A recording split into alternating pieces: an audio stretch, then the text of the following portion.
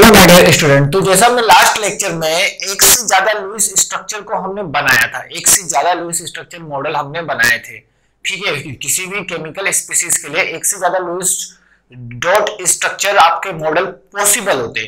अब मैंने आपको बताया बताया था कि नेक्स्ट लेक्चर में हम उससे रिलेटेड कुछ पढ़ेंगे। देखो, एक से ज़्यादा जब लुइस डॉट स्ट्रक्चर आपके पॉसिबल होते हैं तो उसमें हमको कोई ना कोई कॉन्सेप्ट को ढूंढना पड़ता है कि कौन सा ज़्यादा स्टेबल है, कौन सा ज़्यादा करेक्ट है, कौन सा ज़्यादा इनकरेक्ट है। वो हम किसके थ्रू निकालते हैं बच्चों? फॉर्मल चार्ज कॉन्सेप्ट के थ्रू तो एक एक करके अब हम समझते बच्चों यहाँ पर formal charge concept formal charge concept अब देखते हैं बच्चों यहाँ पर फॉर्मल चार्ज कॉन्सेप्ट एक्चुअली में होता क्या है बच्चों आप लोगों का? देखते हैं, ध्यान से समझेंगे फॉर्मल चार्ज कॉन्सेप्ट एक्चुअली में होता क्या है? बात को का, बात ही आपका काफ़ी इजी है। देखो कैसे करेंगे फॉर्मल चार्ज कॉन्सेप्ट को कैसे समझेंगे? सबसे पहले एक क्वेश्चन समझते हैं। ठीक है? Draw the Lewis dot structure draw the Lewis dot structure of S C N minus आपको किसका लुइस डॉट स्ट्रक्चर ड्रॉ करना है बच्चों? एस सी एन माइनस का, जो कि आपके लिए काफ़ी इजी है, आप लोग एक ही बार में बना सकते हो। फिर भी हम एक बार देखते हैं बच्चों, कैसे बनाएँगे। तो इसको कैसे सॉल्व करेंगे बच्चों? सॉल्यूशन मैंने आपको बताया है बच्चों। ठीक है? एस सी एन माइनस का लुइस डॉट स्ट्रक्चर आपको ड्रॉ करना है। सबसे पहला काम क्या होगा बच्चों आपको? स्केलेटन ड्रॉ करना पड़ेगा। कैसे होगा lower electronegative element always behave as a central atom तो यहाँ पर लोअर इलेक्ट्रोनेगेटिव एलिमेंट कौन सा होगा? यहाँ पर कार्बन और और जो स्मॉल एटम होगा, वो आपका हमेशा क्या होगा? देखो, इसका 2.6 होता है, इसका 2.5 होता है थोड़ा सा कार्बन से ज़्यादा होता है, ठीक है? ऐसा भी बदल सकते हैं। अब एस माइनस में इसको हमने सेंट्रल एटम एज्यूम किया। नाउ अब हम बात करते हैं यहाँ पर टोटल वैलेंस इलेक्ट्रॉन तो आप लोगों को निकालना आता है टोटल वैलेंस इलेक्ट्रॉन तो सल्फ़र में कितने होते हैं? सिक्स प्लस कार्बन में कितने होते हैं बच्चों? फोर इंटू वन और नाइट्रोजन में कितने होते हैं? फाइव और एक इलेक्ट्रॉन आपका यहाँ से आ रहा है तो इसको हम क्या बोलेंगे? इनकमिंग इलेक्ट्रॉन इनकमिंग इलेक्ट्रॉन अब इनकमिंग इलेक्ट्रॉन है तो यहाँ पर प्लस वन टोटल कितना हो गया बच्चों? सिक्स फोर टेन और यहाँ पर sixteen electron sixteen electron valence electron अब हम बात करते हैं यहाँ पर total electron required to attain noble gas configuration तो नोबल गैस के लिए इसके इसके जो नियरेस्ट होगा इसके नियरेस्ट कौन सा होगा बच्चों? ऑर्गन इसके नियरेस्ट नियोन नियोन तो जितने भी नोबल गैस एलिमेंट होते हैं, उसके आउटर मोस्ट शेल में एट इलेक्ट्रॉन होते हैं। तो यहाँ पर तीन एटम है तो आउटर मोस्ट शेल के लिए तीन से मल्टीप्लाई कर दो। एट मल्टीप्लाई बाई थ्री सबके लिए एट ही होगा बच्चों। इसके लिए भी एट होगा, इसके लिए भी एट होगा, इसके लिए भी एट होगा। सब अपने आउटर मोस्ट शेल में एट इलेक्ट्रॉन करना चाहते तो इसलिए मैंने eight multiply by three total कितना हो गया? Twenty four electron now we have to calculate what यहाँ से इंपॉर्टेंट स्टार्ट हो गया total bond electron total bond electron हम कैसे कैलकुलेट करेंगे बच्चों? आप लोग जानते हो T R N minus T total valence electron T R N आपका कितना होगा बच्चों यहाँ पर? 24 four minus sixteen now T R N में एट इलेक्ट्रॉन्स अब देखो, एक बॉन्ड आपके कितने कितने इलेक्ट्रॉन से मिलकर बनने बने होते हैं? दो दो दो बॉन्ड दो इलेक्ट्रॉन से. एक बॉन्ड आपके दो इलेक्ट्रॉन से मिलकर बने होते हैं.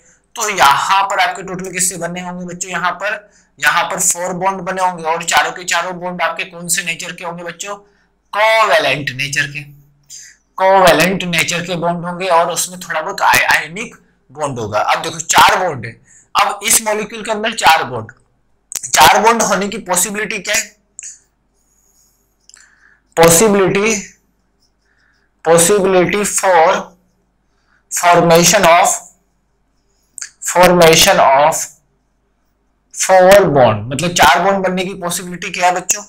एक तो ये पॉसिबिलिटी हो जाएगी आपके। ठीक है?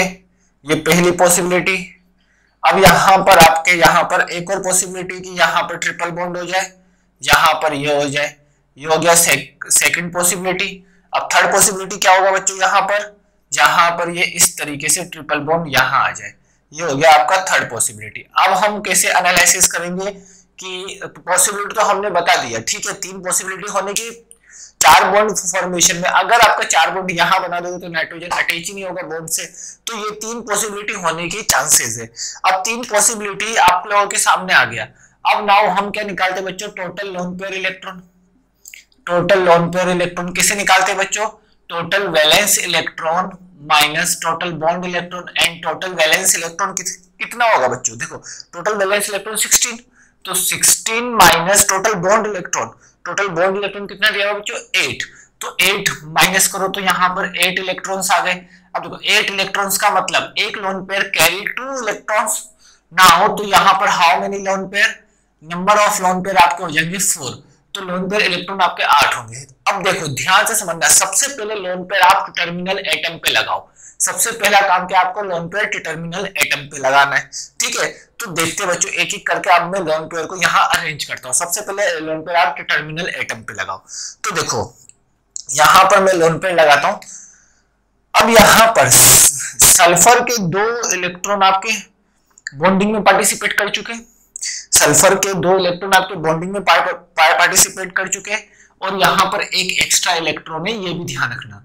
आपका एक लोन पेयर का मतलब इसका मतलब ऐसा होता है, जो मैंने बताया हुआ था, एक एक्स्ट्रा इलेक्ट्रॉन है तो चिंता वाली कोई बात नहीं है। ठीक है, अब इसको थोड़ा सा ध्यान से समझना। यहाँ पर दो आपके बॉन्डिंग में पार्टिसिपेट हो गए, और सल्फ़र के वैलेंस शेल में आपके कितने इलेक्ट्रॉन होते हैं बच्चों? फोर इलेक्ट्रॉन फोर में से दो पार्टिसिपेट हो गए तो बचे कितने? फोर इलेक्ट्रॉन मैंने लगा दिए। ठीक है कार्बन के कितने बॉन्डिंग में पार्टिसिपेट कर गए? यहाँ पर चार इलेक्ट्रॉन कार्बन के बॉन्डिंग में पार्टिसिपेट कर गए और वैलेंस शेल में चार होते।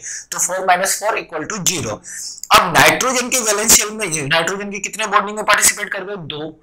दो पार्टिसिपेट कर चुके। अब नाइट्रोजन के वैलेंशियल में कितने होते? पाँच। पाँच में से दो पार्टिसिपेट कर गए। रिमेनिंग कितने बचे? तीन। तीन आपके रिमेनिंग बचे। अब देखो, यहाँ पर ओल्ड इलेक्ट्रॉनिक कॉन्फ़िगरेशन आ गया। जब ओल्ड इलेक्ट्रॉनिक कॉन्फ़िगरेशन आ गया तो यहाँ पर आप देख सकते हो कि एक इनकमिंग इलेक्ट्रॉन है, बाहर से इलेक्ट्रॉन आया हुआ है। तो इसको हम क्या करेंगे? क्रॉस से। अब आप देख सकते हो कितने लोन पेयर हो गए। ये आपका एक लोन पेयर ये आपका दूसरा लोन पेयर ये आपका तीसरा लोन पेयर ये आपका चार लोन पेयर तो नंबर ऑफ़ लोन पेयर कितने आ गए बच्चों? चार। तो एक तो इस तरीके से, जिसमें आपके कोऑर्डिनेट बॉन्ड की कोई रिक्वायरमेंट नहीं होगी। अब देखो यहाँ पर। यहाँ पर सल्फ़र के कितने काम में आ गए बच्चों? तीन तीन बॉन्डिंग में पार्टिसिपेट कर चुके और सल्फ़र के ऊपर रिमेनिंग कितने बचे? सल्फ़र का आउटर मोस्ट शेल में छह इलेक्ट्रॉन आउटर मोस्ट शेल में कितने इलेक्ट्रॉन सिक्स इलेक्ट्रॉन सिक्स में से तीन पार्टिसिपेट कर चुके तो बचेंगे कितने बच्चों यहाँ पर? तीन बचेंगे। बचेंगे कितने बच्चों यहाँ पर? तीन बचेंगे। और तीन बचेंगे तो इसका मतलब इसके ऊपर क्या आ जाएगा? ओल्ड इलेक्ट्रॉनिक कॉन्फ़िगरेशन ठीक है, और इलेक्ट्रॉनिक कॉन्फ़िगरेशन को रिमूव करने का तरीका क्या है बच्चों? कोऑर्डिनेट बॉन्ड तो यहाँ पर मैंने ये कोऑर्डिनेट बॉन्ड बना दिया। यहाँ पर ये मैंने कोऑर्डिनेट बॉन्ड बना दिया। यहाँ पर इस तरीके से मैंने कोऑर्डिनेट बॉन्ड बना दिया। ठीक है, इस तरीके से मैंने यहाँ पर कोऑर्डिनेट बॉन्ड बना दिया। अब यहाँ पर कितने पार्टिसिपेट करके बच्चों? दो। टोटल कितने पार्टिसिपेट करके चार। चार इलेक्ट्रॉन की, क्योंकि कोऑर्डिनेट बॉन्ड में एक बॉन्ड आपके दो इलेक्ट्रॉन को ट्रांसफ़र करता है तो यहाँ पर सल्फ़र के कितने इलेक्ट्रॉन ट्रांसफ़र हुए? दो। यहाँ पर एक एक। अब यहाँ पर टोटल सल्फ़र के वैलेंस शेल में चार इलेक्ट्रॉन चार में से, और सॉरी छह छह में से चार काम में आ गए। दो बचे, दो मैंने बना दिए। ठीक है, अब यहाँ पर कार्बन के कार्बन के दो एक, दो, तीन बॉन्डिंग में पार्टिसिपेट है। तीन बॉन्डिंग में पार्टिसिपेट है और कार्बन के आउटर मोस्ट शेल में चार इलेक्ट्रॉन तो चार में से तीन आपके बॉन्डिंग में पार्टिसिपेट हो गए तो बचे कितने? एक तो ये तो ऑड इलेक्ट्रॉनिक होने के चांसेस है। तो इसीलिए कार्बन भी आपका यहाँ पर कोऑर्डिनेट बॉन्ड बना लेता है। तो इस तरीके से कार्बन के भी चार इलेक्ट्रॉन पार्टिसिपेट हो गए। अब नाउ नाइट्रोजन नाइट्रोजन के कितने इलेक्ट्रॉन आपके बॉन्डिंग में पार्टिसिपेट हुए? तो आप बोल सकते हो कि नाइट्रोजन की यहाँ पर एक भी इलेक्ट्रॉन आपके बॉन्डिंग में पार्टिसिपेट नहीं हुए। केवल और केवल नाइट्रोजन इलेक्ट्रॉन को ले रहा है ठीक है? तो नाइट्रोजन के एक भी इलेक्ट्रॉन बॉन्डिंग में पार्टिसिपेट नहीं हुए तो वैलेंशियल में पाँच तो पाँच इलेक्ट्रॉन में बना देता हूँ। एक दो तीन चार पाँच। और एक आपका आउटर मोस्ट इलेक्ट्रॉन है तो ये हो गया देखो। कितने लोन पेयर हो गए बच्चों? तरीके से धीरे धीरे बनाओ। तो यहाँ पर ये आ गया। नाउ अब इस स्ट्रक्चर को समझते हैं। सल्फ़र के कितने बॉन्डिंग में पार्टिसिपेट हो गए? एक। बचे कितने? पाँच। बचे कितने? पाँच। क्योंकि वैलेंस में छह होते हैं। छह में से एक बॉन्डिंग में पार्टिसिपेट हो गए तो बचे कितने? पाँच। जब इसमें से पाँच बचे तो पाँच मैंने बना दिए, देखो। पाँच मैंने बना दिए और एक मैंने वैलेंस शेल का एक्स्ट्रा इलेक्ट्रॉन मैंने बना दिया। ये देखो, ये मैंने बना दिया, ठीक है? अब नाउ नाइट्रोजन के कितने बॉन्डिंग में? नाइट्रोजन के वैलेंस शेल में कितने? तीन। नाइट्रोजन के यहाँ पर बॉन्डिंग में कितने पार्टिसिपेट किए बच्चों? तीन पार्टिसिपेट किए। तीन में से, पाँच में से तीन पार्टिसिपेट किए तो बची कितना? एक लोन पेयर ठीक है तो यहाँ पर इस तरीके से आपका बन जाएगा। ठीक है, यहाँ पर इस तरीके से आपका फॉर्म हो जाएगा। तो देख सकते हो कि यहाँ पर टोटल लोन पे फिर से कितने आ गए बच्चों? सिक्स आ गए। ठीक है कोऑर्डिनेट बॉन्ड के लिए आप चिंता मत करो, आपको धीरे धीरे धीरे धीरे अपने आप आ जाएगा बच्चों। लेकिन आप एक दो बार इसको इसको जिस तरीके से मैं बोल बोल के करने की कोशिश कर रहा हूँ, आप भी उस तरीके से बोल बोल के करिए तो आपको आ जाएगा। अब इसके ऑक्टेट चेक कर लेते हैं। इसका ऑक्टेट चेक करो। देखो ऑक्टेट काम आएगा बच्चों। ऑर्गेनिक केमिस्ट्री में सबसे ज़्यादा। एक एक, दो, तीन, चार, पाँच, छह, सात, आठ। यहाँ पर भी आठ इलेक्ट्रॉन इसका ऑक्टेट चेक करो। एक, दो, तीन, चार, पाँच, छह, सात, आठ। मैंने बताया था ना बॉन्ड पेयर इलेक्ट्रॉन को बॉन्ड वाले इलेक्ट्रॉन को इस एटम के लिए भी काउंट करेंगे, इस एटम के लिए भी काउंट करेंगे। दोनों के लिए दो दो इलेक्ट्रॉन काउंट करेंगे। नाइट्रोजन के लिए क्या होगा बच्चों? एक, दो, तीन, चार, पाँच, छह, सात, आठ। ऑक्टेट कंप्लीट है। अब देखो, यहाँ पर भी, यहाँ पर सल्फ़र ने दो इलेक्ट्रॉन दिए। एक, दो तीन चार पाँच छह सात आठ। इसके भी आठ इलेक्ट्रॉन कार्बन के एक दो एक दो, तीन चार, पाँच छह, सात आठ। कोऑर्डिनेट बॉन्ड के लिए भी दो इलेक्ट्रॉन काउंट करते हैं हम। ठीक है, यहाँ पर कितना हो जाएगा? एक दो, तीन चार, पाँच छह, दो इलेक्ट्रॉन आ रहे सात आठ आठ इलेक्ट्रॉन ठीक है, इसके लिए भी काउंट करेंगे तो कितना आ जाएगा? एट इलेक्ट्रॉन यहाँ पर भी एट इलेक्ट्रॉन यहाँ पर भी एट इलेक्ट्रॉन तो आप लोग देख सकते हो कि structure one structure second and structure third all are follow Lewis octet rule सारे के सारे आपके कौन से लोग कौन से रूल को फॉलो कर रहे हैं बच्चों? लुइस ऑक्टेट रूल को फॉलो कर रहे हैं। तो हम बोल सकते हैं बच्चों यहाँ पर, देखो ध्यान से समझना, यहाँ पर हम क्या बोल सकते हैं कि, यहाँ पर हम सिंपल बोल सकते हैं कि, यहाँ पर मैं लिख देता हूँ structure one structure one second, and third, all are follow, all are follows Lewis dot structure structure या फिर Lewis octet model Lewis octet rule ठीक है? सभी आपके लुइस ऑक्टेट मॉडल या फिर लुइस ऑक्टेट रूल को फॉलो कर रहे हैं। अब सबसे पहली बात है जब ये आपके सारे के सारे ऑक्टेट टूल को फॉलो कर रहे then then then we have to identify we have to identify phi the most the most suitable the most suitable structure most suitable Lewis structure structure of following chemical species, following chemical species. तो मुझे इन सभी इन सभी molecule में, इन सभी molecule में सबसे जो suitable structure है, उसको हमको उसको हमको आइडेंटिफाई करना पड़, पड़ेगा। This identification of this this identification this identification of of structure structure is done by is done by done by a formal charge concept formal charge concept ये स्ट्रक्चर का ये जो करेक्ट स्ट्रक्चर है मुझे वो मतलब आइडेंटिफिकेशन निकालने के लिए मुझको कौन सा चार्ज कॉन्सेप्ट लेना पड़ेगा? फॉर्मल चार्ज कॉन्सेप्ट तो ये तो आपका तरीका था कि फॉर्मल चार्ज कॉन्सेप्ट कहाँ से आया। अब यहाँ पर तो आपको स्ट्रक्चर मैंने बना दिया है। अभी मुझे इन तीनों में से मोस्ट सुटेबल स्ट्रक्चर निकालना है तो मैं किससे निकालूँगा? फॉर्मल चार्ज कॉन्सेप्ट से, ठीक है? फॉर्मल चार्ज कॉन्सेप्ट से। अब एक्चुअली में फॉर्मल चार्ज आपका होता क्या है, उसको हम हम समझ लेते हैं। फॉर्मल चार्ज आपका होता क्या है? उसको अब हम ध्यान से समझेंगे बच्चों, ताकि आप लोगों को अच्छे से समझ में आ जाए। बच्चों थोड़ा सा कोशिश करो, आप लोगों को सबसे टफ पोर्शन पूरे केमिकल बॉन्डिंग में यही जाने वाला है। उसके अलावा सारे इजी आपके हो जाएँगे। अब देखो, यहाँ पर फॉर्मल चार्ज कॉन्सेप्ट एक्चुअली में आपका होता क्या है? देखो फॉर्मल चार्ज कॉन्सेप्ट ठीक है फॉर्मल चार्ज कॉन्सेप्ट नहीं formal charge formal charge actually में क्या होता है बच्चों आपका? Number of number of electron lost and gain. Number of electron lost and gain by an atom by an atom by an atom that uh, that नहीं when when number of electron lost and gain given by an atom when when that atom form that atoms form form chemical species. अब देखो chemical species बनाने के लिए आपको क्या करना पड़ेगा? कुछ एटम को इलेक्ट्रॉन लॉस करना पड़ेगा या तो गेन करना पड़ेगा। उसी उसी आपके, उसी की वजह से जो चार्ज क्रिएट होगा चार्ज जो डेवलप होगा, उसी चार्ज को हम क्या बोलेंगे बच्चों? फॉर्मल चार्ज ठीक है? इस कॉल्ड यहाँ पर बोल सकते इस कॉल्ड फॉर्मल चार्ज ये भी बोल सकते हैं। ठीक है बच्चों? काफ़ी ज़्यादा सिंपल कंसेप्ट है। इज़ कॉल्ड फॉर्मल चार्ज ये आप लोग समझ सकते हो, काफ़ी इजी है। नाउ फॉर्मल चार्ज का डेफिनेशन तो मैंने लिखा दिया। अब फॉर्मल चार्ज एक्चुअली में क्या होता है?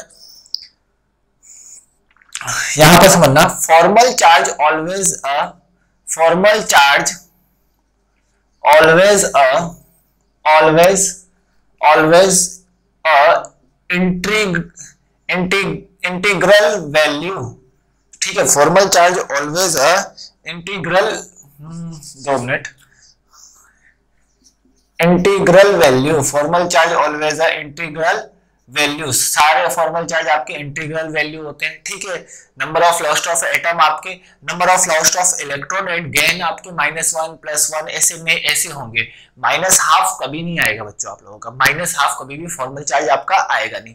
तो formal charge always a integral value that is equal to the that is equal to the, equal to the number of number of electron lost and gain and gain. जो कि आपका electron loss कर रहा है और gain कर रहा है, उसी के इक्वल होगा। सेकंड आपका कॉन्सेप्ट सेकंड आपका क्या होगा बच्चों? Formal charge formal charge charge on any atom on any atom in chemical species in chemical species species represent represent the imaginary charge imaginary charge imaginary charge formal charge आपका एक type का कौन सा charge होता है बच्चों imaginary charge होता है ये आप ध्यान से समझना ठीक है ठीक है यहाँ पर अब देखो अब देखो क्या होता है डिफरेंट डिफरेंट स्ट्रक्चर में आपके सिमिलर एटम हो सकते हैं। जैसे एस में कार्बन है ठीक है, और सीओ थ्री टू माइनस में भी कार्बन है अब इसका मतलब थोड़ी ना कि कि आपका कार्बन एस में जो कार्बन है उसका जो आपका फॉर्मल चार्ज होगा एस के अंदर, वैसा ही फॉर्मल चार्ज आपका सीओ थ्री के अंदर होगा, ऐसा नहीं है। देखो, मैं आपको समझाता हूँ, जैसे सीओ थ्री टू माइनस है, एक एस है, ठीक है एस बना दिया, मैंने कोई भी आइटम बना लो हो या ना हो, वो अलग बात है। देखो, यहाँ पर कार्बन पे जो फॉर्मल चार्ज होगा, यहाँ पर कार्बन पे ये आपका एक्स हो गया, ये आपका वाई हो गया। ये दोनों सिमिलर नहीं होंगे।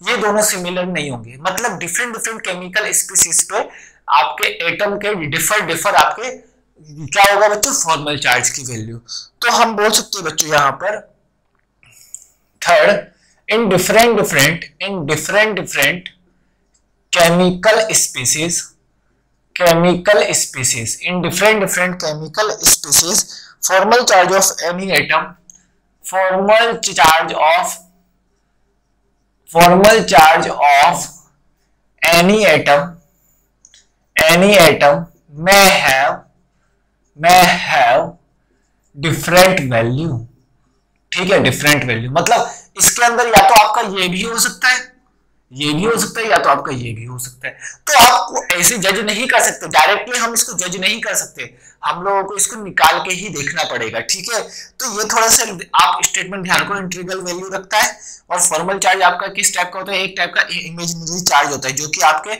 स्टेटमेंट में क्वेश्चन पूछ लेता है ये सब, ठीक है? स्टेटमेंट में यही सब पूछता है तो थोड़ा सा इसको थोड़ा सा ध्यान रखो। और अगर केमिकल बॉन्डिंग से स्टेटमेंट वाले क्वेश्चन आते हो तो बच्चों को काफ़ी टफ होता है। अब हम एक एक करके यहाँ पर फॉर्मल चार्ज निकालते कैसे? उसका मैं आपको तरीका बताता हूँ। देखो ध्यान से। फॉर्मल चार्ज का एक्चुअली में फॉर्मूला क्या होता है? फॉर्मल चार्ज फॉर्मल चार्ज का फॉर्मूला क्या होता है बच्चों? फॉर्मल चार्ज मतलब एफ़ सी ठीक है? आपसे मैं एफ़ सी लिखूँगा।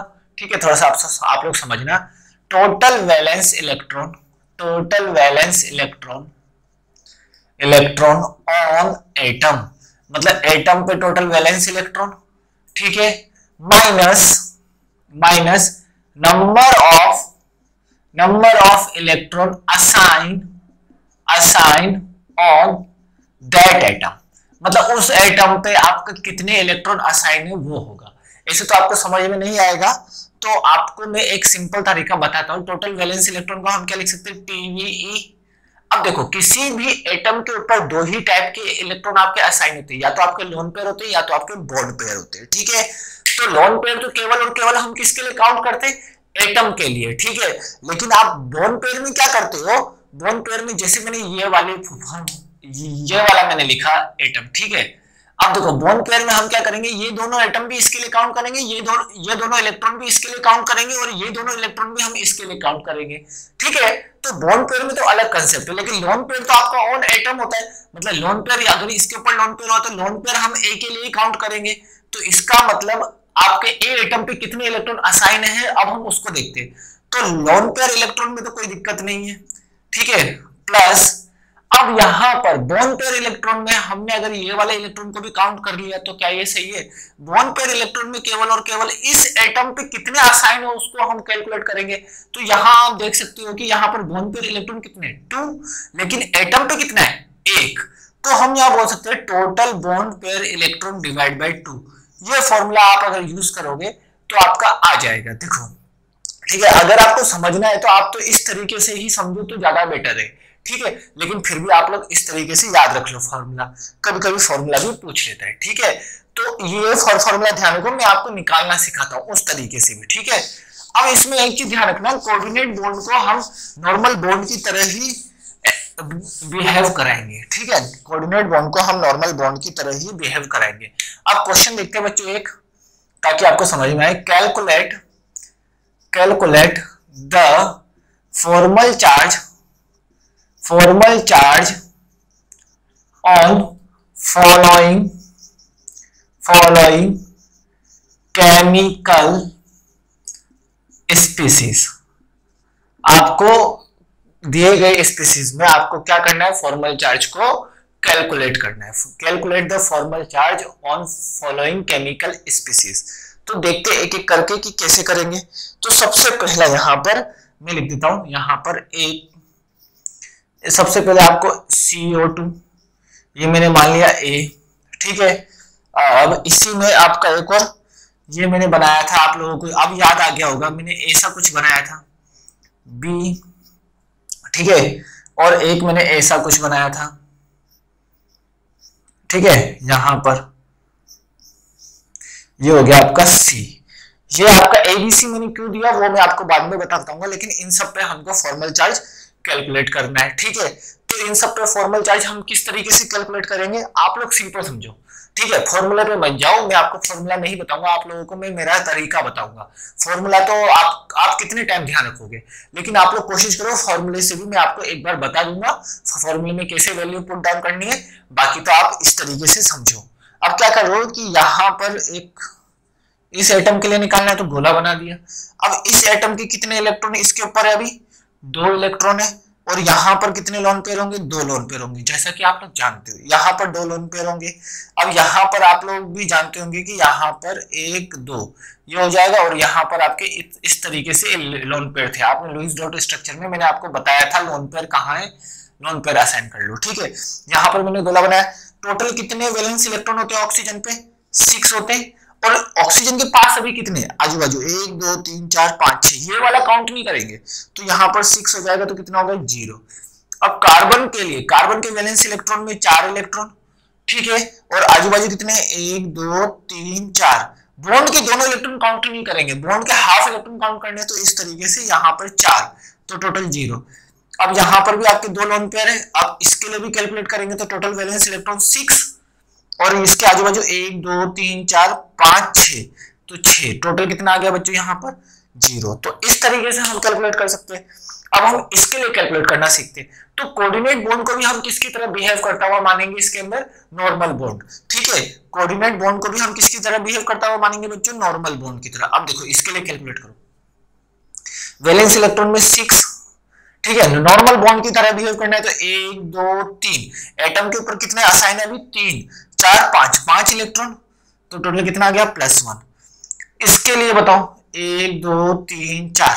तो चार वैलेंस वैलेंस शेल इलेक्ट्रॉन और चार इलेक्ट्रॉन है। टोटल कितना आ गया? ज़ीरो इसके लिए बताओ बच्चों, इसके लिए कितने? सबसे पहले यहाँ पर कितना होता है? सिक्स अब देखो, एक, दो, तीन, चार, पाँच छ सात। सात इलेक्ट्रॉन तो माइनस वन मैं जो तरीका बता रहा हूँ, उस तरीके से आप लोग करोगे तो सही रहेगा, ठीक है? यहाँ पर भी देखो, आप फिर से निकालो। इसको एक मान लिया ऑक्सीजन के वैलेंस शेल में कितने? सिक्स यहाँ पर एक, दो, तीन, चार, पाँच, छह, सात। स्टेटमेंट पढ़ो ना number of electron assign on that atom उस एटम पे कितने इलेक्ट्रॉन असाइन है? एक, दो, तीन, चार, पाँच, छह, सात। सात। तो यहाँ पर कितना आ जाएगा? माइनस वन यहाँ पर देखो, एक, दो, तीन, चार। इस एटम पे लोन पेयर तो है ही नहीं। लोन पेयर तो नहीं है, बोन पेयर है, बोन पेयर में कितने असाइन है? बोन पेयर में कितने असाइन है? यहाँ पर आपके एक, दो, तीन, चार चार असाइन है तो आप इस तरीके से निकालोगे तो ज़्यादा आप आप लोगों को सही जाएगा हमेशा, और जल्दी होगा थोड़ा सा तो यहाँ पर ज़ीरो और यहाँ पर कैलकुलेट करेंगे तो एक, दो, तीन, चार, ठीक है? लेकिन आप यहाँ पर कैसे कैलकुलेट करेंगे? देखो यहाँ पर यहाँ पर कैलकुलेट करने का तरीका टोटल कितने हैं? सिक्स होते हैं। लेकिन कोऑर्डिनेट बॉन्ड को नॉर्मल बॉन्ड की तरह बिहेव कराएँगे तो एक, दो, तीन, चार, पाँच। पाँच टोटल कितना आ गया? प्लस वन मैं किस तरीके से काउंट कर रहा हूँ? अगर आपने काउंटिंग समझ ली तो आप लोगों को समझ में आ जाएगा। तो इस तरीके से हमने यहाँ पर क्या निकाल लिया बच्चों? फॉर्मल चार्ज निकाला। अभी एक और एग्जांपल देखते हैं, ताकि आपको और भी अच्छे से समझ में आ जाए। कोई ज़्यादा टिपिकल कॉन्सेप्ट नहीं है। अभी अभी हमने एक स्ट्रक्चर बनाया था, उसी का निकालते, ठीक है? उसी का हम निकालते। हैं फिर मैं आपको बताऊँगा, इसमें स्टेबिलिटी का क्या कंसेप्ट है, ठीक है? कार्बन नाइट्रोजन अब देखो, इसमें आपको इस तरीके से था, ठीक है? एस माइनस में। ठीक है? एस माइनस का मैंने इस तरीके से बनाया था। ना हो ये तो हो गया स्ट्रक्चर ए ठीक है? अब यहाँ पर एस सी एन ये आपका कैसा हो जाएगा बच्चों? इस तरीके से बनाया था मैंने और यहाँ पर आपके दो इलेक्ट्रॉन यहाँ पर इस तरीके से आपके इलेक्ट्रॉन थे। ठीक है? ये हो गया आपका बी ये हो गया आपका बी देखो, इसको अच्छे से बना देता हूँ ताकि आपको समझ में आ जाए। अब यहाँ पर आपका एक और स्ट्रक्चर एस ठीक है? इस तरीके से एक, दो, तीन, चार, पाँच छ ऐसे बताया था ना एस सी एन माइनस का तो बच्चों ने। अब आप लोगों को बताना है कि कितने इलेक्ट्रॉन असाइन थे, कितने इलेक्ट्रॉन निकालने, कैसे फॉर्मल चार्ज आप लोग निकालोगे? तो सबसे पहले आप क्या करोगे? यहाँ पर इस एटम पे निकालना है तो इस एटम को राउंड कर दो। राउंड करने के बाद इस सल्फ़र के वैलेंस शेल में सिक्स इलेक्ट्रॉन सिक्स माइनस अब आपका कितना हो जाएगा? इसके आजू बाजू एक, दो, तीन, चार, पाँच, छह छह इलेक्ट्रॉन है। टोटल कितना हो गया? ज़ीरो कार्बन के वैलेंस शेल में कितने इलेक्ट्रॉन चार. और इसके इसके ऊपर चार इलेक्ट्रॉन असाइन है तो ज़ीरो अब नाइट्रोजन के वैलेंस शेल में कितने होते हैं? पाँच। पाँच होते हैं नाइट्रोजन के वैलेंस शेल में तो पाँच माइनस इसके आजू बाजू कितने असाइन है? एक, दो, तीन, चार, पाँच, छह। छह असाइन है। तो कितना हो गया टोटल बच्चों? यहाँ पर माइनस वन इस तरीके से हो गया। ठीक है? अब यहाँ पर आपको कोऑर्डिनेट बॉन्ड को भी किसकी तरह तरह बिहेव करता हुआ मानना बच्चों सिंपल बॉन्ड की तरह। तो सल्फ़र के वैलेंस शेल में सिक्स अब एक, दो, तीन, चार, पाँच। पाँच है। तो इसके ऊपर क्या आ जाएगा? प्लस वन अब यहाँ कार्बन के ऊपर एक, दो, तीन, चार। कार्बन के ऊपर चार इलेक्ट्रॉन असाइन है, वैलेंशियल में चार होते हैं। तो आप लोग देख सकते हो यहाँ पर कितना आ जाएगा, ज़ीरो। नाउ इसके लिए कैलकुलेट करो। एक, दो, तीन, चार, पाँच, छह, सात। तो नाइट्रोजन के ऊपर कितना होगा? पाँच माइनस सात इलेक्ट्रॉन असाइन है तो माइनस टू। ठीक है, आप लोग कोशिश करो, जो जैसा मैं तरीका बता रहा हूँ, वैसा करते जाओ। ठीक है, अब इस पे देखो, अब इस पे कैसे निकालेंगे? अब इस पे हम लोग कैसे निकालेंगे? समझना ध्यान से। इस पे हम लोग कैसे निकालेंगे? देखो इस पे कितना होता है? सिक्स इलेक्ट्रॉन सल्फ़र के वैलेंस शेल में सिक्स इलेक्ट्रॉन होता है। इसके ऊपर कितने असाइन है? आप लोग देख सकते हो। One two three four five six bond के हाफ़ इलेक्ट्रॉन लेने तो यहाँ पर सेवन इलेक्ट्रॉन असाइन है। तो यहाँ पर प्लस आ, प्लस वन ठीक है seven electron sorry minus one ठीक है इसके ऊपर कितने असाइन है? एक दो तीन चार। तो चार माइनस चार इक्वल टू ज़ीरो अब इसके ऊपर कितने आसाइन है उसको देख लेते हैं। एक, दो, तीन, चार, पाँच। मतलब पाँच में से पाँच। टोटल कितने? Zero electron assign. ज़ीरो इसका फॉर्मल चार्ज हमने हर एटम का फॉर्मल चार्ज निकालना सीखा। अभी हम एक और एटम का फॉर्मल चार्ज निकालना सीख लेते हैं। बी क्वेश्चन अब इसमें तो हम स्टेबिलिटी चेक करेंगे। अब मैं साइड में आपको एक और एटम का बताता हूँ। देखो। सी क्वेश्चन इसमें स्टेबिलिटी तो हमको देखना नहीं है। ये सब आप समझ सकते हो इजीली अब देखो यहाँ पर आपका किस तरीके से होगा? एक दो आ, ये आपका इस तरीके से ना हाँ इस तरीके से था एक दो यहाँ पर एक दो तीन चार ये ये मैंने बनाया था बच्चों मैंने ओ थ्री ओ थ्री का स्ट्रक्चर कुछ ऐसा बनाया था बच्चों मैंने ओ थ्री का स्ट्रक्चर तो आप लोग इस पर निकाल सकते हो कि फॉर्मल चार्ज हर एटम पे कितना होगा। और ये क्वेश्चन अक्सर आपके जे अक्सर आपके मेडिकल में पूछा गया। मेडिकल में मेडिकल में अक्सर पूछा गया क्वेश्चन है बच्चों ये। काफ़ी इजी क्वेश्चन पड़ता है और आपके एनसीईआरटी में भी होगा। अब इसको, इसमें इसमें फॉर्मल चार्ज निकालना तो क्या होगा बच्चों? Coordinate bond behave as a normal bond in in calculation of formal charge तो आपका क्या हो जाएगा बच्चों? इसके ऊपर सिक्स एक, दो, तीन, चार, पाँच, छ। छ और ये सात सात। तो इसके ऊपर क्या जाएगा? माइनस वन ठीक है, इसका भी मैं आपको राज बताऊँगा। ठीक है? और यहाँ पर भी दो इलेक्ट्रॉन होते हैं लोन पेयर अब देखो, यहाँ पर कितना होगा? Six one two three four five five है तो इसके ऊपर क्या आ जाएगा? प्लस वन इसके ऊपर कितना आएगा? देखो सिक्स इलेक्ट्रॉन वैलेंस शेल में one two three four five six six electron है ज़ीरो अब देखो कि अब आपसे कैसा क्वेश्चन पूछा जाता है एक्स वाई जेड तो एक्स वाई जेड की वैल्यू आपसे पूछ लेते हैं कि एक्स वाई जेड आपका फॉर्मल चार्ज है तो एक्स वाई जेड की वैल्यू कितनी होगी respectively minus one plus one और ज़ीरो ये क्वेश्चन आपसे अक्सर पूछ लिया जाता है। ठीक है, इस तरीके से हम यहाँ पर फॉर्मल चार्ज और भी एटम का निकाल सकते हैं। जो जो आपको अक्सर आप समझ में आ गया होगा किस तरीके से फॉर्मल चार्ज हमको कैलकुलेट करना है। आप लोग तीन चार एग्ज़ाम्पल करोगे तो आपको अच्छे से समझ में आ जाएगा। ठीक है तो अब देखो यहाँ पर। अगर मुझे अब मुझे यहाँ पर सॉरी यहाँ पर मैंने इसको रब कर दिया, इसको बना देता हूँ वापस। यहाँ पर क्या था? यहाँ पर आपका ऑक्सीजन इस तरीके से था। ठीक है, इसको बना देता हूँ बच्चों में। थोड़ा सा ध्यान रखना। थोड़ा सा आप लोग कॉर्पोरेट करो तो ये आपका इस तरीके से था। ठीक है? मैं बना देता हूँ ताकि मेरे अभी काम आएगा ये। ठीक है? ये अभी मैं इसके बारे में और भी डिस्कस करूँगा। तो ये आपका ए स्ट्रक्चर था। और ये आपका कितना था? यहाँ पर एक, दो, ये आपका कौन सा कोऑर्डिनेट बॉन्ड था? ठीक है, एक, ये मैंने बना दिया था, ठीक है, ये इस तरीके से था बच्चों। ठीक है, ये आपका इस तरीके से था। ठीक है, ये मैंने बनाया था अब स्ट्रक्चर अब हम समझते हैं कि स्टेबिलिटी हम कैसे निकालते हैं। स्टेबिलिटी निकालने का तरीका, अब देखो यहाँ पर, ठीक है which structure which structure structure is more stable more stable Lewis structure more stable Lewis structure more stable Lewis structure. We can find it.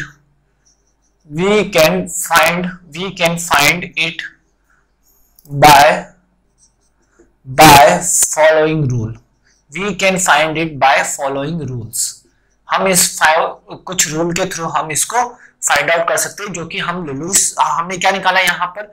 यहाँ पर हमने निकाला कि आपका फॉर्मल चार्ज निकाल लिया। अब इनमें से कौन ज़्यादा स्टेबल होगा, हम कैसे निकालेंगे? तो सबसे पहला जो पॉइंट है हमारा स्टेबिलिटी निकालने का, और ये आपके ऑर्गेनिक केमिस्ट्री में रेजोनेंस में काम आएगा बच्चों। मैं पहले ही बोल रहा हूँ ऑर्गेनिक केमिस्ट्री में अगर आपने इसको यही स्ट्रॉन्ग कर लिया तो दुनिया का कोई भी आपका दुनिया का कोई भी क्वेश्चन अगर आपका ऑर्गेनिक का फंस रहा है तो इसका मतलब वहाँ पर फॉर्मल चार्ज लगा दो, आपका क्वेश्चन हंड्रेड परसेंट सोल्व हो जाएगा हंड्रेड परसेंट देखो फॉर्मल चार्ज एक ऐसी चाबी है जो आप कहीं पर भी लगाओगे तो चल जाएगा। ये पूरे केमिस्ट्री की एक खास बात है, ठीक है? तो ध्यान से समझना। सबसे पहले तो जिसका ऑक्टेट कंप्लीट नहीं होता है, वो वो तो आपका अनस्टेबल होता है, ठीक है? मतलब सबसे पहले stability for stability, we have to check, we have to check completion of octet. We have to check check octet octet of chemical species अब आप ऑक्टेट कैलकुलेट कर सकते हो ऑक्टेट सब में सब में ऑक्टेट कंप्लीट है। ठीक है केमिकल स्पीसीज का ऑक्टेट चेक कर लो। जिसका केमिकल स्पीसीज का ऑक्टेट कंप्लीट होगा, वो वो क्या होगा? वो आपका क्या होगा? स्टेबल होगा। जिसका ऑक्टेट कंप्लीट होगा वो क्या हो जाएगा बच्चों, आपका स्टेबल हो जाएगा। अब सेकंड रूल क्या होता है कि सेकंड रूल आपका ये बोलता है बच्चों कि सेकंड रूल में आपका जितना कम आपका फॉर्मल चार्ज होगा, जितना कम आपका फॉर्मल चार्ज होगा, वो आपका सबसे ज़्यादा स्टेबल होगा। ठीक है? मतलब स्टेबल लुइस डॉट स्ट्रक्चर है stable Lewis dot structure stable Lewis dot structure structure structure have have have have formal charge formal charge near to zero मतलब किसके? ज़ीरो के नियर अब देखो, जिसमें फॉर्मल चार्ज आपके ज़ीरो के नियर होगा या फिर ज़ीरो होगा वो आपका क्या हो, हो जाएगा बच्चों? वो आपका स्पीसीज आपका स्टेबल होगा। आप देख सकते हो ए बी सी में यहाँ पर देखो हर एटम पे हर एटम पे near to zero on each atom लिख लो। ऑन ईच एटम तो जिस पर आपका परफेक्टली ज़ीरो होगा वो आपका सबसे ज़्यादा स्टेबल तो यहाँ पर मैं क्या बोल सकता हूँ? ए आपका ज़्यादा स्टेबल होगा as compare to B and C as compare to B and C और आप देख सकते हो कि बी एंड सी में भी फॉर्मल चार्ज एक ऑक्सीजन पे माइनस वन है, यहाँ पर भी एक ऑक्सीजन पे माइनस वन है, एक ऑक्सीजन पे प्लस वन है, एक ऑक्सीजन पे प्लस वन है। तो ये तो दोनों दोनों आइडेंटिकल स्ट्रक्चर है। तो अब मैं दोनों की स्टेबिलिटी क्या बोलूँगा? बी इक्वल टू सी यहाँ तक तो आपको आई होप कि समझ में आ गया होगा कि कैसे मैंने स्टेबिलिटी निकाल ली। मतलब जिसका formal charge near to zero है, वो आपका सबसे ज़्यादा स्टेबल होगा। देखो, इसका ज़ीरो इसका ज़ीरो इसका ज़ीरो तो ये आपका स्टेबल हो गया, ठीक है? नाउ अब देखते बच्चों, अब हम आगे सेकंड पॉइंट कि सेकंड पॉइंट हमारा क्या है कि अब देखो यहाँ पर, अब इसी कॉन्सेप्ट को हम ऊपर भी लगाते हैं। ऊपर लगाते हैं, देखते हैं इसको, इसमें लगाते हैं। ए बी सी दिया हुआ है। अब देखो, इसका नियर टू ज़ीरो किस किसमें? ए में है और सी में है। यहाँ पर तो माइनस टू और क्या आ गया बच्चों? प्लस वन क्या ये नियर टू ज़ीरो है? माइनस टू टू सबसे ज़्यादा नियर टू ज़ीरो कौन से ये दोनों स्ट्रक्चर आपके आइडेंटिकल है, लेकिन नियर टू ज़ीरो कौन सा है बच्चों? दोनों है।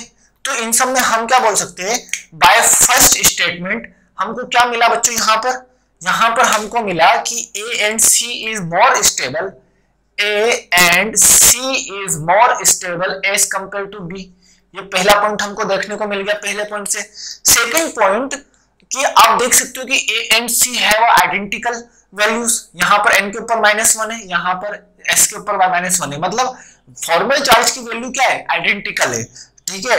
तो यहाँ पर सी पॉइंट हम समझते हैं बच्चों कि chemical species chemical species chemical species which have which have similar formal charge similar formal charge then then then then then we have to decide we have to decide we have to decide decide decide stability by stability by by electronegativity अब देखो अब क्या बोलना चाह रहा है higher electronegative element higher electronegative element element can carry element can carry can carry negative charge, ठीक है? And lower electronegative element can carry lower electronegative element can carry can carry positive charge अब देखो, यहाँ पर अब मैं समझ सकता हूँ ए स्ट्रक्चर में नाइट्रोजन के ऊपर माइनस वन है और सी में सल्फ़र के ऊपर माइनस वन है। तो आप बताओ कि नेगेटिव फॉर्मल चार्ज कहाँ पर आपका सबसे ज़्यादा होगा? नेगेटिव फॉर्मल चार्ज आपका कहाँ सबसे ज़्यादा स्टेबल होगा? तो जैसा कि हम लोग समझते हैं यहाँ पर नाइट्रोजन है हायर इलेक्ट्रोनेगेटिव वैल्यू नाइट्रोजन की इलेक्ट्रोनेगेटिविटी वैल्यू ज़्यादा होती है सल्फ़र से। सो so, सो so, आपका क्या हो, हो जाएगा बच्चों यहाँ पर? यहाँ पर ए की ए का लुइस डॉट स्ट्रक्चर ज़्यादा स्टेबल होगा। देन आफ्टर आपका क्या जाएगा बच्चों यहाँ पर? सी सी के बाद आपका क्या आ जाएगा बच्चों, यहाँ पर बी ठीक है? तो यहाँ पर ये आपका लुइस डॉट स्ट्रक्चर का स्टेबिलिटी ऑर्डर है। तो अगर मैं बोलना चाहूँ कि कौन सा लुइस डॉट स्ट्रक्चर आपका सबसे ज़्यादा सही है तो हम क्या बोलेंगे? ए ठीक है? अब यहाँ पर क्या होता है कि लुइस यहाँ पर तो मैंने आपको फॉर्मल चार्ज मैंने बता दिया। लुइस डॉट स्ट्रक्चर तीनों में से कौन सा ज़्यादा सही है? ए सही है, ठीक है? अब मैं यहाँ यहाँ पर आपको एक और कॉन्सेप्ट बताता हूँ। कि यहाँ पर एक और समझते हैं यहाँ पर, जो आपका चार्ज होता है, जैसे मैं यहाँ पर लिखता हूँ कि यहाँ पर मैंने लिखा एक एग्ज़ाम्पल एग्ज़ाम्पल के थ्रू पहले समझते हैं कि क्या होता है। एक्चुअली जो स्टेटमेंट मैं आपको बताने वाला हूँ, वो उसको पहले एग्ज़ाम्पल के थ्रू समझते हैं। देखो, यहाँ पर मैं सीओ थ्री टू माइनस का स्ट्रक्चर बनाता हूँ, ठीक है? आप लोग खुद से बनाना लुइस डॉट स्ट्रक्चर में अभी नॉर्मल बना देता हूँ। ये आपका लुइस डॉट स्ट्रक्चर होगा, ठीक है? लुइस डॉट स्ट्रक्चर होगा बच्चों इसका। ये मैं अभी नॉर्मल बना रहा हूँ, आप लोग समझ जाना बच्चों किस तरीके से आपको इस पर फॉर्मल चार्ज निकालना है। ठीक है, आपको इस पर फॉर्मल चार्ज निकालना है। तो एक एक करके फॉर्मल चार्ज निकालते हैं। तो अगर मैं इस पर फॉर्मल चार्ज निकालूँगा तो कैसे निकालूँगा बच्चों?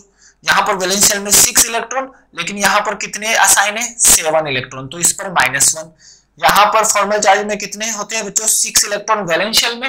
और कितने असाइन है? देख सकते हो आप। One two three four five six seven आप कैलकुलेट करना सीखो। मेरे साथ आप लोग बोला करो वैल्यू तो आपको जल्दी समझ में आएगा, ठीक है? यहाँ पर वैलेंस शेल में फोर होते। एक, दो, तीन, चार। चार इलेक्ट्रॉन असाइन है तो ये आपका ज़ीरो यहाँ पर कितने होते हैं बच्चों? बेटा मैं थोड़ा सा कंसेप्चुअली लेवल पे जा रहा हूँ। मैं इसको सिंपल भी बता सिंपल भी पूछ सकते थे, लेकिन सिंपल पूछने से आपको ज़्यादा समझ में नहीं आएगा। इसलिए मैं थोड़ा कंसेप्चुअली जाने की कोशिश कर रहा हूँ। आप लोग कोशिश करो। तो थोड़ा सा काफ़ी इंटरेस्टिंग है।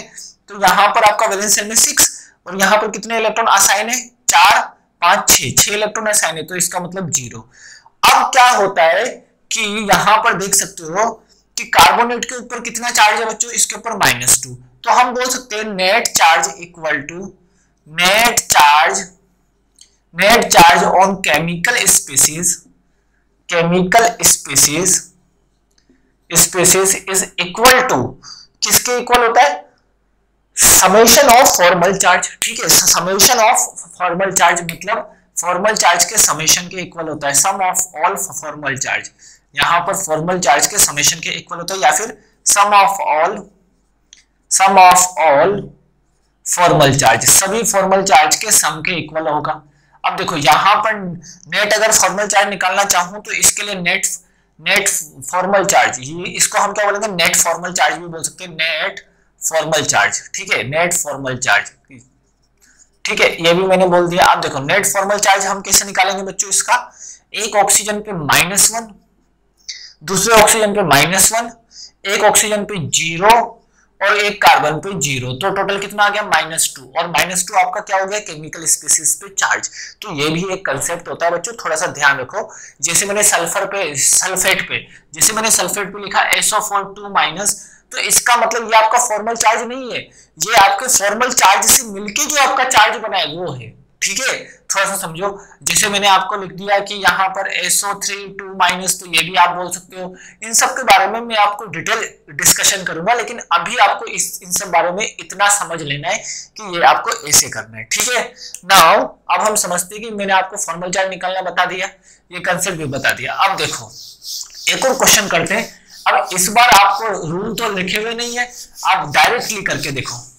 डायरेक्टली करके देखो कि किस तरीके से आपके इस क्वेश्चन को आप लोग डील कर सकते हो। ठीक है? तो इस क्वेश्चन को डील कैसे करेंगे बच्चों? देख लेते हैं। यहाँ पर ये मैंने बना दिया दो स्ट्रक्चर ये मैंने दो स्ट्रक्चर बना दिए। अब आप लोग डील करके बताओ इस क्वेश्चन को कैसे सोल्व करोगे। ठीक है? ये मैंने बना दिया। आप लोग खुद से एक बार को कोशिश करो। हंड्रेड परसेंट आप लोगों को आएगा बच्चों। ऐसा कोई भी आपको केमिस्ट्री का पॉइंट नहीं है जो आपको नहीं आएगा। ठीक है? यहाँ पर लॉन्ग पीरियड नहीं आएगा। यहाँ पर आपका इस तरीके से यहाँ पर यह आपका कोऑर्डिनेट बॉन्ड या आपका कोऑर्डिनेट बॉन्ड ठीक है? तो यहाँ पर आपका एक, दो, तीन, चार, पाँच, छ, सात, आठ, ठीक है? ये आपका इस तरीके से, ठीक है? यहाँ पर ऐसे कर दिया। चलो ठीक है, इसको कोऑर्डिनेट बॉन्ड असाइन नहीं किया, इसको मैंने सिंपल बॉन्ड असाइन कर दिया। थोड़ा सा बड़ा बना देता हूँ, ताकि आपको समझ में आ जाए, ठीक है? अब देखो बच्चों इस बॉन्ड को भी थोड़ा सा बड़ा बना देता हूँ दोनों तरफ़ असाइन करने में काम आ जाएगा। ठीक है, ये मैंने बना दिया। अब देखो, यहाँ पर आपको बताना है कि ए और बी में से कौन सा लुइस डॉट स्ट्रक्चर आपका करेक्ट है। Both are Lewis dot structure of NO2 N2O sorry N2O मतलब नाइट्रस ऑक्साइड नाइट्रस ऑक्साइड का मतलब आप लोग जानते हो that is called what laughing gas इसको हम क्या बोलते हैं? लाफिंग गैस भी बोलते हैं। ठीक है लाफिंग गैस भी बोलते हैं। थोड़ा सा ध्यान से समझना। लाफिंग गैस इसके बारे में आप बहुत जानते हो भी होंगे, बहुत अच्छे से जानते होंगे। नाउ अब मैं आपको बताता हूँ इसका फॉर्मल चार्ज कैसे कैलकुलेट करेंगे। सबसे पहले इस एटम का कैलकुलेट करेंगे तो वैलेंशियल में पाँच इलेक्ट्रॉन इसके ऊपर असाइन कितना है? एक, दो, तीन, चार, पाँच, छह। असाइन है तो माइनस वन ये इसके ऊपर बताओ वैलेंस इलेक्ट्रॉन कितना है? पाँच। ठीक है? और लोन पेड़ तो नहीं है। एक, दो, तीन, चार। चार असाइन है तो इसके ऊपर क्या आ जाएगा? प्लस वन इसके ऊपर कितना है फॉर्मल चार्ज इसके ऊपर balance total balance electron six कितने असाइन है? एक, दो, तीन, चार, पाँच, छह। छह असाइन है तो छह माइनस कर दिया तो ज़ीरो इसके ऊपर कितना है बैलेंस इलेक्ट्रॉन इसका? थोड़ा सा छोटा बना देता हूँ। देखते हैं।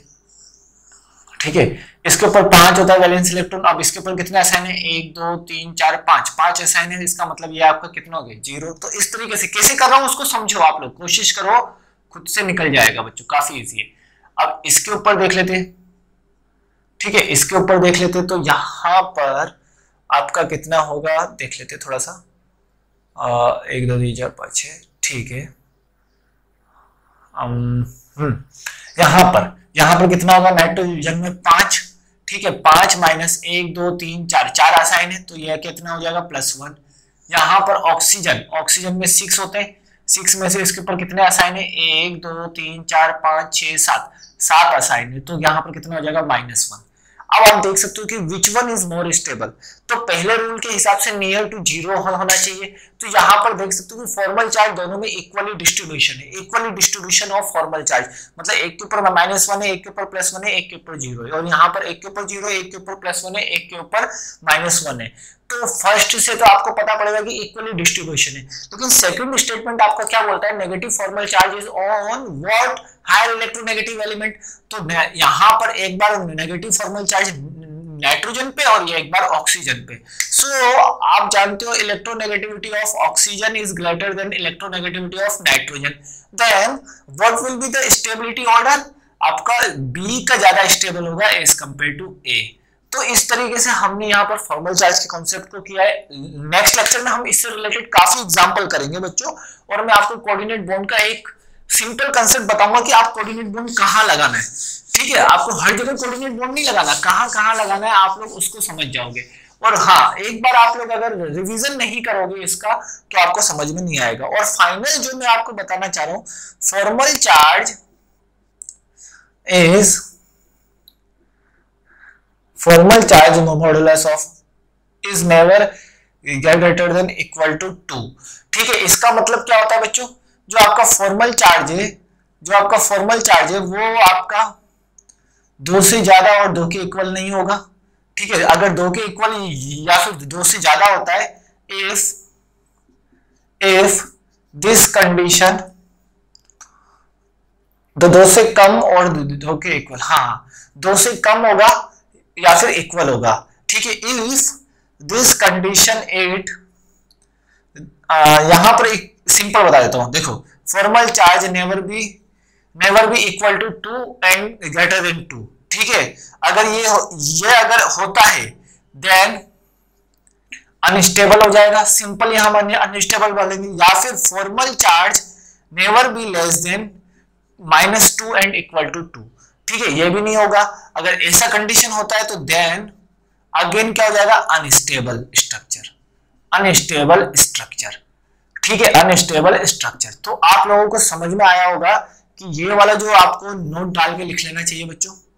नोट डाल के ये वाला पॉइंट आपको ध्यान से समझ लेना चाहिए जिसमें टू टू या टू से ज़्यादा होगा या फिर माइनस टू या माइनस टू से कम होगा वो आपका स्टेबल नहीं होगा। तो इस तरीके से हम यहाँ पर फॉर्मल चार्ज कॉन्सेप्ट को इजिली समझ सकते हैं। आई होप सो कि आपको पूरा लेक्चर समझ में आया होगा जो कि काफ़ी ईजी है काफ़ी कंसेप्चुअल इतना नहीं है। आ, और यहाँ पर अगर आपको किसी भी टाइप का डाउट होता है तो you can call me you can WhatsApp me ठीक है? यू कैन आस्क मी वो एनी डाउट एनी टाइम ठीक है? तो इस तरीके से हमने यहाँ पर फॉर्मल चार्ज को समझ लिया। फॉर्मल चार्ज काफ़ी इजी था। आप लोगों को अब समझ में आ गया होगा किस तरीके से लेकिन मैंने जो तरीका बताया फॉर्मल चार्ज कैलकुलेट करने का, आपको वही तरीका अप्लाई करना है। कोई नया तरीका आप अपने हिसाब से नहीं बनाओगे बच्चों। कई बच्चे बनाते हैं केमिकल बॉन्डिंग में यहाँ पर तो ये है तो ये अप्लाई कर दे ऐसा बिल्कुल नहीं करना। जो मैं तरीका बताता जा रहा हूँ वैसा करते जाओ धीरे धीरे धीरे धीरे धीरे धीरे।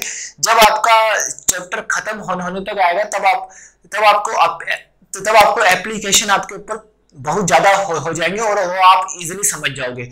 अभी मैं अभी मैं एक सीक्वेंस में चला रहा हूँ। सीक्वेंस के हिसाब से। अभी हमारा लूज डॉट स्ट्रक्चर खत्म नहीं हुआ है। लूज डॉट स्ट्रक्चर मॉडल अभी हमारा खत्म नहीं हुआ ये कम से कम एक को एक या दो लेक्चर और लेगा। ठीक है उसमें मैं आपको इसके थोड़े से वेरिएशन और, और बताऊँगा। इसमें एक्सेप्शन बताऊँगा। एक्सेप्शन क्यों आया उसका रीजन भी बताऊँगा। क्यों ऐसा एक्सेप्शन क्रिएट होने का चांस बना? तो यहाँ पर तो आप लोगों को आई होप की समझ में आ गया होगा। एक बार आप क्या करो इन्हीं क्वेश्चनों का प्रैक्टिस किया करो। आपको जितना भी दिया है अभी मैं डीपीपी इसलिए नहीं दे रहा कि क्योंकि आपको इन्हीं क्वेश्चनों का प्रैक्टिस करना है। इन्हीं क्वेश्चनों की प्रैक्टिस करो एक दो बार करो फॉर्मल चार्ट निकालने की कोशिश करो बिना देखे। देन आफ्टर आप, अगर आपका आ जाता है या फिर फिर भी नहीं आता तो एक और बार लेक्चर देखो। आप लोगों को हो जाएगा। आई होप सो कि आपको यहाँ तक अच्छे से समझ में आया होगा। So thanks for watching